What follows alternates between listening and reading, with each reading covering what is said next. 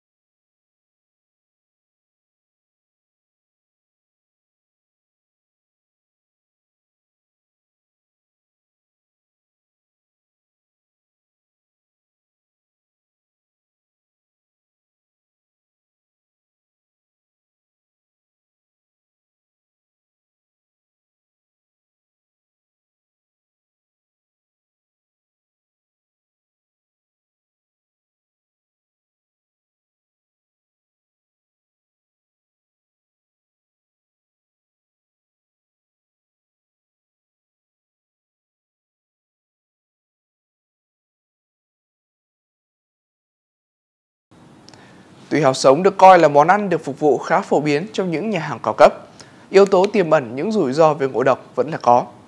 Vì vậy, kính mong khi sử dụng bữa tại những địa điểm uy tín.